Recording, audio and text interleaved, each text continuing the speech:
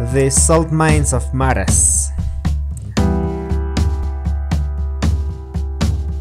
The salt mines of Maras is the only place in all the southern Peru where natural salt is produced. This salt was consumed by pre-Incan people and Incan cultures. The salt is produced until nowadays this place is called Salt Mines of Maras.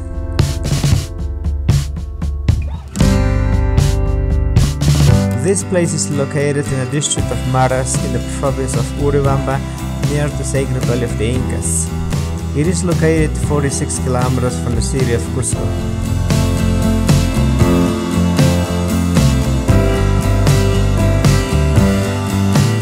There are approximately 7,000 wells or salt mines, whose owners are the local inhabitants of that district. Salt water that fills the wells comes from underground spring. It is 70% salt and 30% water, which makes the sea water saltier.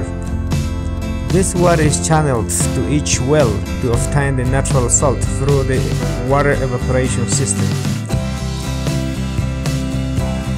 The inhabitants of Maras commercialized this natural salt just as the ancient inhabitants of the Peruvian Andes did thousands of years ago. The minerals contained in this natural salt are magnesium, calcium, potassium and silicon. If you want, you can buy them from the small honey crab stands located within the area.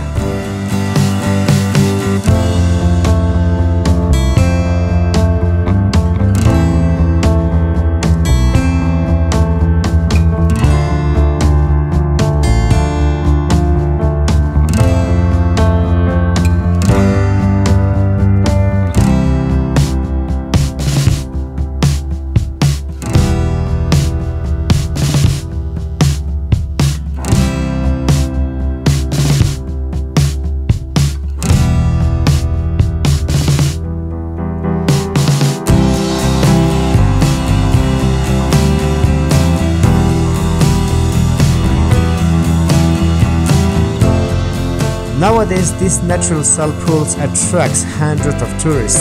The best time of the year to visit this magnificent place is between May and August. The incredible panoramic view of Maras salt will leave you impressed. We are Inkayni Peru Tours. Subscribe to our channel for more videos. Give a like, comment and share it.